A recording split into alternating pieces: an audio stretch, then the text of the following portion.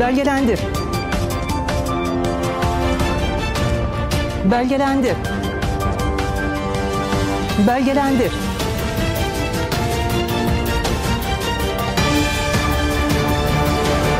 Belgelendir.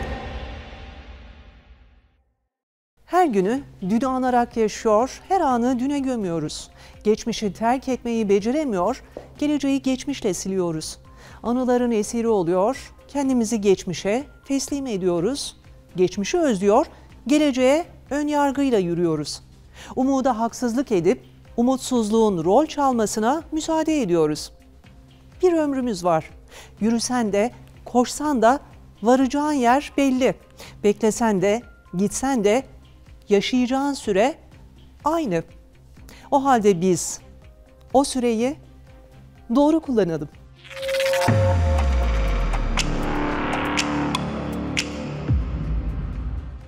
Yaya geçitlerinde ışık yoksa üstünlük yayadadır. Kurala uymayan sürücülere ağır para cezaları var. Hala yaya geçidine gelirken yavaşlamayan sürücüler nasılsa hak bende diye yavaş yavaş geçen yayalara çarpıp yaralanmasına neden olabiliyor. Tamam sürücü zaten hatalı ama sen de hak bende diye kendini neden tehlikeye atarsın ki? Hak bende o yüzden duracak. Duracak da görmüyor ya da fren mesafesi yeterli değilse can senin. Sen tedbirini al. Bir de yaya geçidinde yol verirsin. Yaya geçerken böyle yan yan bakar. Ters ters bakar. Bak burası benim. Ne yazıyor? Yaya geçidi. Yayayım ben. Sen bekleyeceksin. Dur öyle. Aferin. Sanırsın yaya geçidini üstüne yapmışlar. Sessiz bir savaş var yaya ve sürücüler arasında. Bu savaş yaya arabaya bindiği, sürücü de yaya olduğu zamanlarda saf değiştiriyor. Kimsenin birbirini anlamaya niyeti yok. Haklı hep biziz. Ama işte haklı olmak yaralanmanı engellemiyor.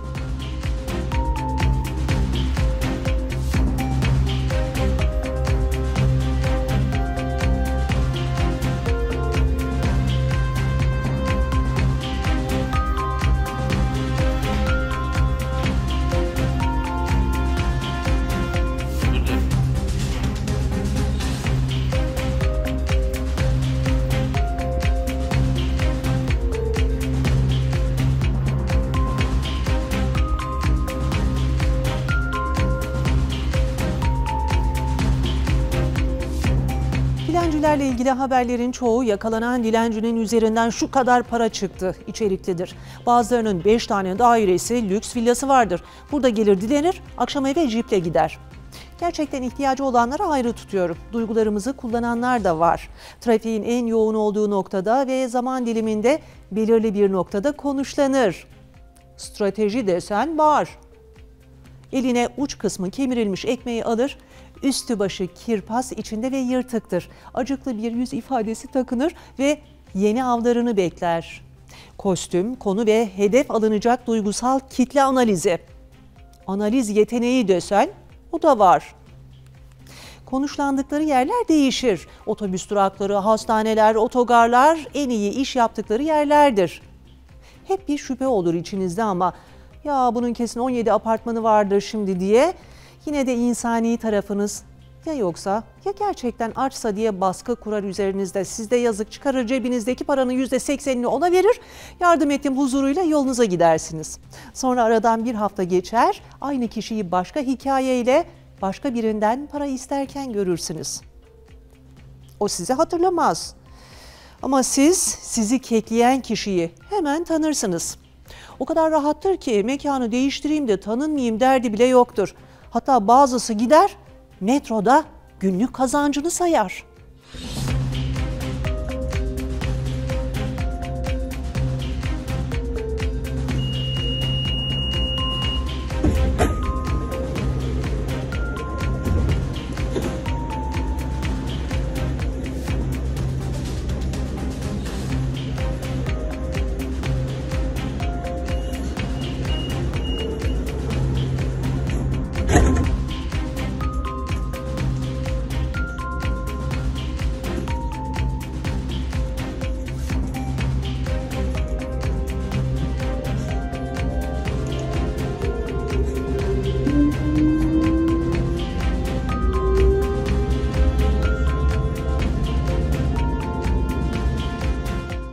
Siz uyurken ne yapıyor merak ediyor musunuz? Bir animasyon film vardı. Evcil hayvanlarımız biz evden gittiğimizde ne yapıyor konuluydu. İşte biz evden çıkana kadar ardımızdan üzülen ama evden çıktığımız anda parti vermeye başlıyor. Arkadaşlarını çağırıyorlardı falan. Tamam belki o biraz abartılı ama siz uyuduğunuzda onlar da uyuyor sanıyorsunuz değil mi? Uyumuyorlar. Etrafta ne kadar kablo varsa onları kemirip koparıyorlar. Masanın üzerinde ne varsa şu hareketle aşağı atıyorlar. Biri çıkıp şey yazmıştı. Dünya düzcülere duyurulur. Eğer dünya düz olsaydı kediler biz de dahil her şeyi aşağı atmıştı bir kere. Çok doğru. Tamam atın da bunu biz uyurken kafamıza düşecek şekilde yapmayın bari.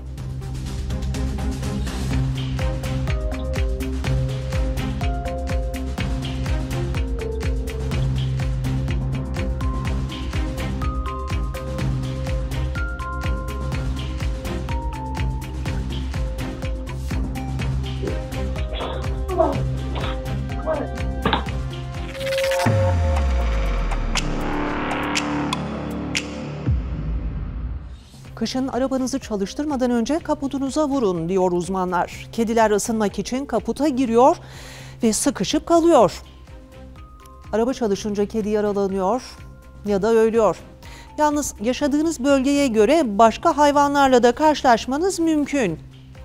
Bu sefer kedi değil, yılan çıktı. Soğuk hayvan, korkmasak bile yani soğuktur. Korkmayıp yakalayanlar korkumuzun üstüne giderler. Ne atayım mı he? Atayım mı? Atayım mı? Korkularınızın üzerine gidin derken uzmanlar bunu kastetmemişti. Yani biz gideceğiz, siz değil. Bir de şey vardır. Avucunun içinde bir şey tutarsın, sürpriz yapmak istersin. Uzat elini dersin, eline bırakmaya çalışırsın. Karşındaki de almaya korkar. Ay söyle böcek mi var? Ne var elinde? Ay alamam ben onu. Ne vereceksin bana? Ne verebilirim sana? Elimde akrep tutuyor olabilir miyim acaba? Siz yine de kışın kaputunuza vurun. Hani kedi varsa miyavlar da yılan varsa nasıl kendini belli eder hiçbir fikrim yok.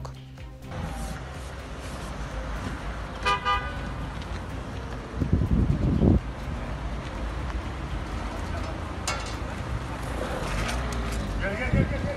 Ha gel. Gel gel bak gel.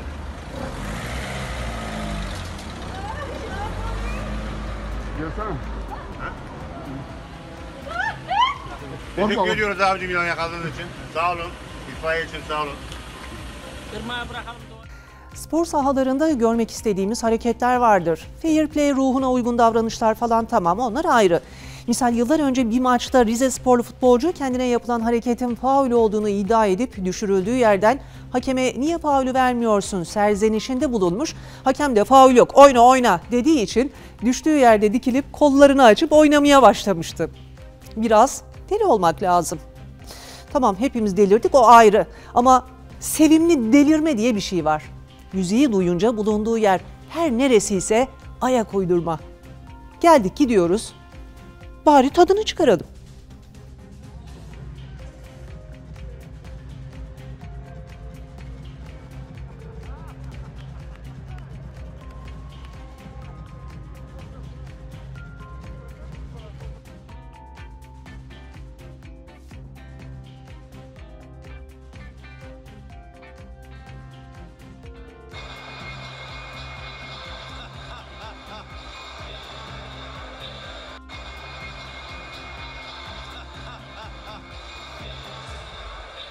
Sahaların dışında da görmek istediğimiz hareketler var. Dostluk mesajları, kardeş takım olmalar falan bunları geçiyorum. Rekabetin bile zekice olanı güzel. Zekayı konuştur, iki espri serpiştir, atış. Rekabet ayrı, düşman olmak ayrı. Hani iki araba markasının birbirine nispet yapmalı reklamı vardı. Muhteşemdi. Reklamda çalışma arkadaşlarına veda eden CEO'nun şirket aracını teslim ederek garajdaki elektrikli diğer markanın aracına bindiği görülüyor. Slogan da şu, emeklilik geçmişinizi geride bırakıp geleceğinizi kucaklamaktır. İşte keşke kulüpler arası öyle atışmalar görsek. Gerçi en son Konyaspor Beşiktaş'ın Kartal geliyor tweetine maçı kazandıktan sonra Kartal gidiyor şeklinde cevap vermişti ve çok keyifliydi. Bir de kulüp bünyesinde yaşanan atışmalar var. Off sporlu futbolcular paralarını alamayınca Başkana sosyal medyadan videolu bir mesaj yolladılar. E, başkan da durur mu? Yapıştırdı tabii cevabı. Arkası gelmez ödemelerin Bıktık illallah. Arkası gelmez ödemelerin Bıktık illallah. Bize de bir gün peşinat yatar Yatar inşallah. Bize de bir gün peşinat yatar Yatar inşallah Böyle gelmiş böyle gidecek. Korkarım valla Yok mu çaresi başkan? Subhanallah thing is,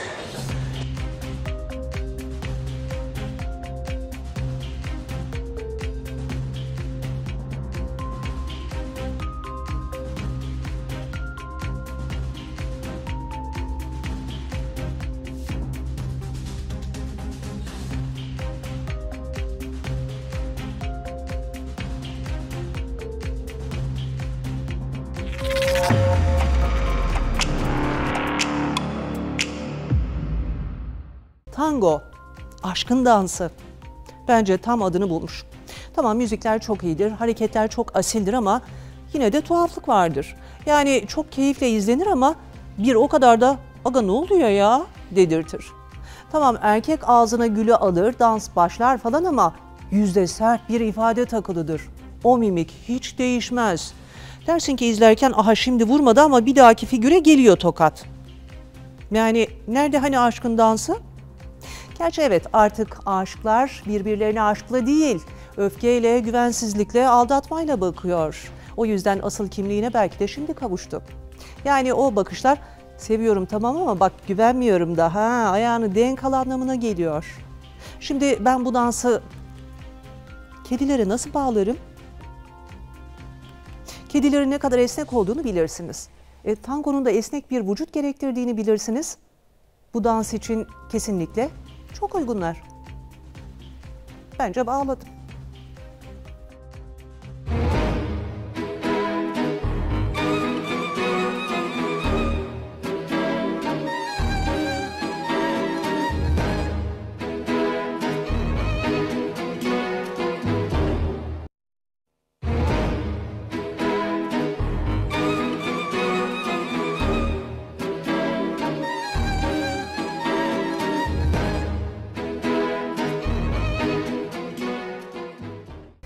Çocuklar tertemiz. Çocuklar doldurulacak bembeyaz bir sayfa. Ne görürse onu yapar. Ne verirsen onu alır. Koy babaannenin yanına 2 yaşında Konya ağzını en güzel şekilde konuşsun. Anneanne Karadenizli'yi sever yanına 2 yaşında komik bir bebeğin olsun. Örnek aldıkları sadece ebeveynler değildir bu arada. Evde yaşayan hayvanlardan da etkilenebilirler. Hani kendini horoz sanan köpeği de gördük, at sanan kediyi de ama köpekten etkilenecek bir çocuğa ihtimal vermemiştik. Gerçi sen çocukla köpeği aynı oyunda kullanırsan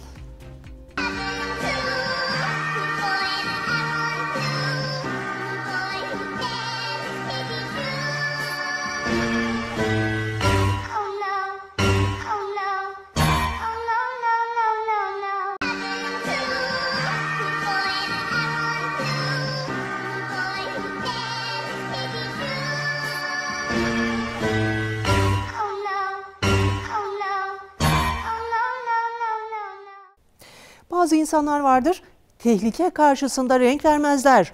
Düşünce de pek vermezler. Yani düştü mü aman ben zaten düşecektim modunda kalkar yollarına devam ederler. Tehlikeyle karşılaştıklarında da soğukkanlı görünürler. Öyle midirler peki? İçlerinde fırtınalar kopsa da renk vermeyen, en ağır darbeyi alsa da dik durup ağlamayanları vardır ama nerede? Dışarıda, başkalarının yanında. Kendileriyle baş başa kaldıklarında ne yaptıklarını hiç öğrenemeyeceğiz. Dışarıda sergiledikleri güçlü duruşta acayip bir karizma kondurur onlara.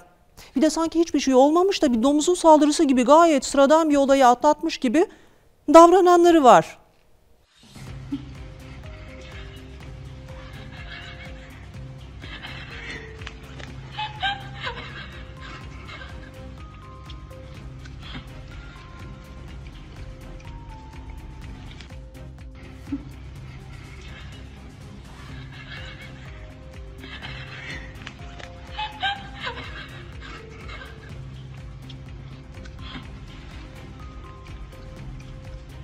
Ülkemiz her gün şaşırtan olaylarla anılıyor. Peki neden bütün tuhaflıklar bizden çıkıyor? En olmazı neden hep biz yapıyoruz? Bu kadar tuhaf olayı başka bir ülkede görmek mümkün müdür? Değildir. Bunlar hep her pazar günü akşam saatlerinde sobanın yanında gerçekleştirilen sabunlu, taslı, kafaya vurmalı banyo ritüellerinden kaynaklanıyor. Anne su soğuk, tak kafaya tas. Soğuk değil. Sonra reddeder vurur ama sıcak su katar, o da fazla sıcak olur. Anne su sıcak, tak bir tas daha. Anne sabun gözümü yaktı, tak bir kalıp sabun kafaya. Anne derim yüzüldü, tak artık elinde ne varsa. Keseyle derisi yüzülen, kafasına kalıp sabunla, maşrapa ya da çelik tasla vurulan bir milletiz biz. Sonra vay efendim niye bütün delilikler bizden çıkıyor? E gitti nöronlar çünkü. Tasla, beyaz sabun kalıbıyla nöron öldüren anneler dönemi yaşadık biz. Bir de terlik var. Onun da kafaya isabet ettiği olmuştur. Biliyoruz da anlatıyoruz. Bu da dua etsin kafaya tas gelmediğine.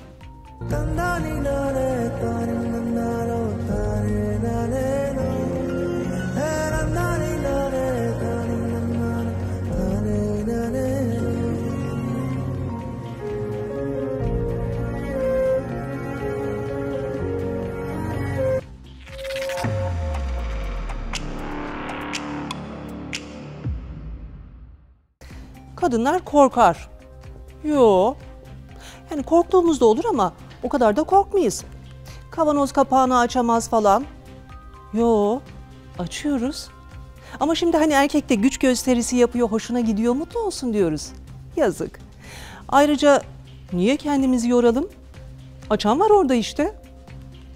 Herkes korkabilir. Ama kadınlar sandığınız kadar korkak değil.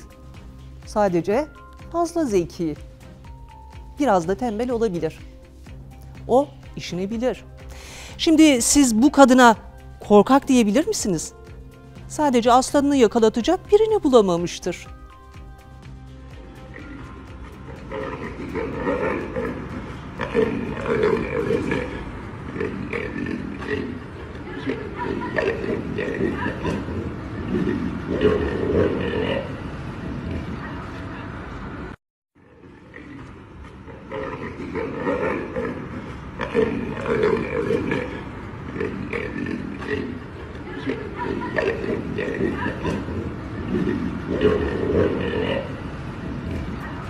Dans etmek ya da yöresel oyunları oynamak. Herkes beceremez.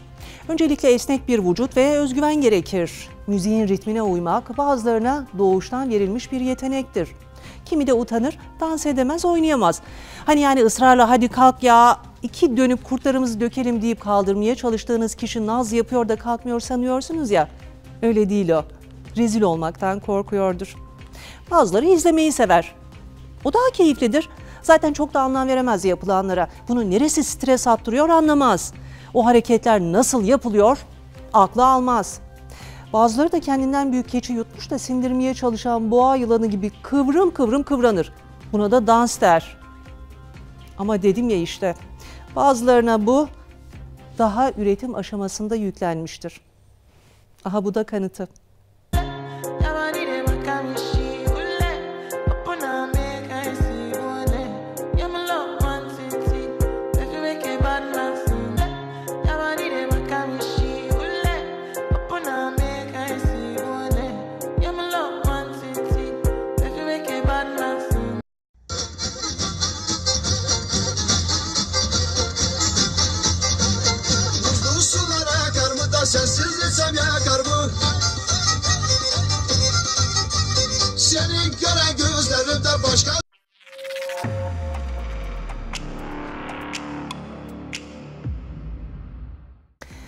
Sahip çıkalım cümlesi bir furya oldu. Herkesin diline dolandı. İster istemez dedelerle ilgili bir haber gördüğümüzde bu cümle aklımıza geliyor. Şimdiki dedemiz önce kardan adam yapıyor, ardından da o kardan adamla güreş tutuyor. O da kesmiyor, kayak falan yapıyor, düşüyor. Bu dedeye sahip çıkmasak mı ki? Allah vuruna. Pehluana bak pehluana la. Hani kızdırma söylüyorum bak. Kaç oradan bu kimmiş bak. Kafa tutuyor kaç.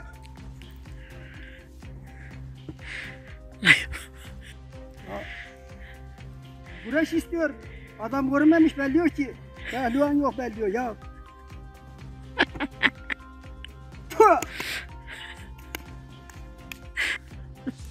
Haydi kardeş. Aha! bu adam dayanmadı bu abi. Bu adam hiç dayanmadı ya. Ot kadar gelmedi bir de pehlivanım diye konuşuyordu ya. Gel ben düşürecek sana. Ver kuru merkosuna gidiyor eniştemin ya. Sucuk çıkarıyor. Bir türkü sallıyor. İnsanoğlunun ne kadar çirkinleşip tehlikeli olabileceğini görmekten utanıyoruz artık. Hayvanın doğasında yiyecek bulmak için öldürmek vardır. Bir tilkiyi tavuklarınızı öldürdüğü için suçlayamazsınız. Ama bir insana tavuklarını öldürdüğü için tilkiye yaptığı eziyetten dolayı kızabilirsiniz. Ve o insana tilki tavuklara da bir şey yapmamış ve üstelik de yaralıyken bu eziyetleri yapmışsa daha çok kızabilirsiniz. Anne gönül annelerine. Neyse abi ne isteyen var niye He? Sana yapıyor. Anne. Anne gönül. Ya nerede hocam nerede?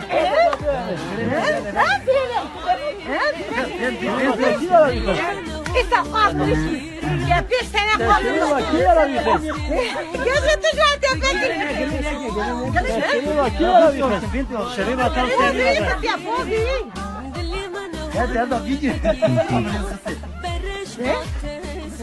Bu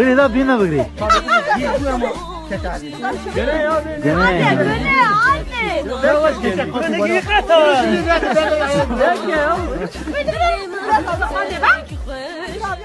Hani gazetecilikte bir söz vardır. Köpek insanı değil de insan köpeği ısırdığında haber olur. Yani biz yine de haber olmak için kimseyi ısırmayalım.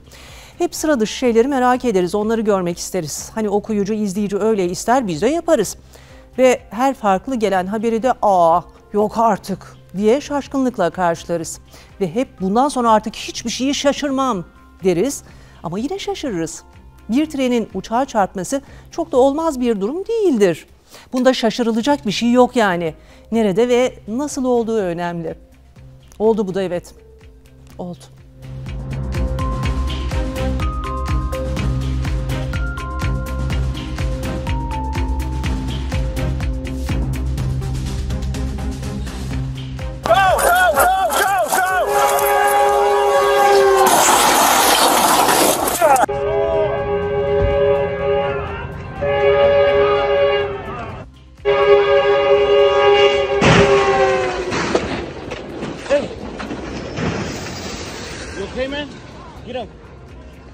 Günü dünü anarak yaşıyor, her anı düne gömüyoruz. Geçmişi terk etmeyi beceremiyor, geleceği geçmişle siliyoruz. Anıların esiri oluyor, kendimizi geçmişe teslim ediyoruz. Geçmişi özlüyor, geleceğe ön yargıyla yürüyoruz. Umuda haksızlık edip umutsuzluğun rol çalmasına müsaade ediyoruz. Bir ömrümüz var. Yürüsen de, koşsan da varacağın yer belli. Beklesen de, gitsen de yaşayacağın süre aynı. O halde biz o süreyi doğru kullanalım. Hoşçakalın. Belgelendir. Belgelendir. Belgelendir.